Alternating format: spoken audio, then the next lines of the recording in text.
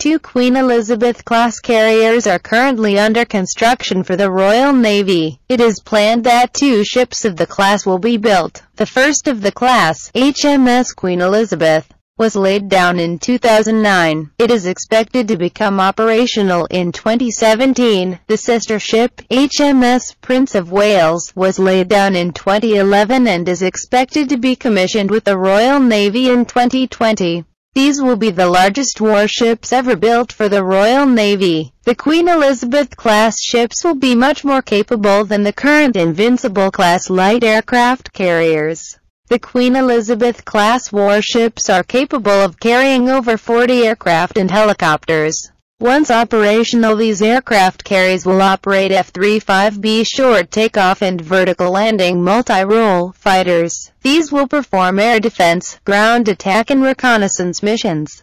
The F-35 Lightning II has low radar cross-section due to stealthy design and radar-absorbent materials. These warships will also operate a mix of CH-47 Chinook, Merlin and Lynx Wildcat helicopters for utility and anti-submarine warfare roles. Air group might also include WA-64 Apache attack helicopters.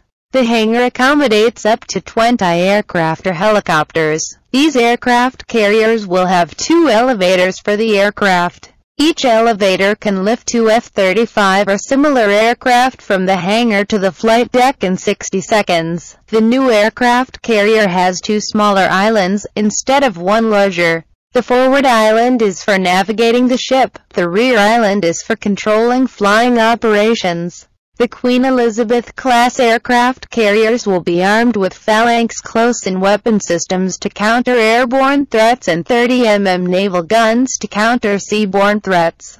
These new aircraft carriers will have integrated fully electric propulsion. The Queen Elizabeth-class ships will be powered by a Rolls-Royce Marine Trent MT-30 gas turbine, developing 48,000 horsepower. Also there will be four Wärtsilä diesel generators. Currently the future of the HMS Prince of Wales is unclear due to funding problems. The decision whether to operate this ship, sell it or mothball it will be taken in 2015. The Queen Elizabeth class will displace 65,000 ton a size between the USA's 100,000-ton Nimitz class and the French 43,000-ton Charles de Gaulle class aircraft carriers, and three times larger than the 20,000-ton UK Invincible class carriers.